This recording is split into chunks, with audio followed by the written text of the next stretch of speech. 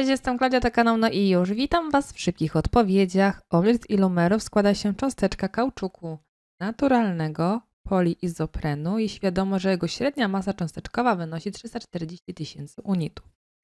Dobra, no to pierwszą rzeczą, jaką trzeba sobie wygooglować, to jaki jest wzór sumaryczny kauczuku. I wygląda on następująco. C 5 A 8 N. I my to tutaj możemy oczywiście przerobić na N razy masa cząsteczkowa, bo U C5A8. To wynosi tyle.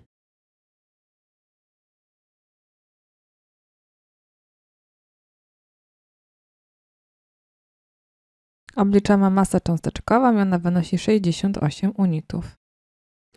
Dzielimy na wartość przy niewiadomej.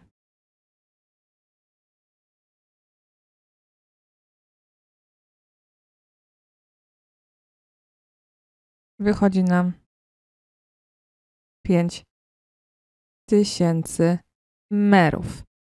Dziękuję Wam serdecznie za uwagę. Zostawcie proszę suba. I no i już.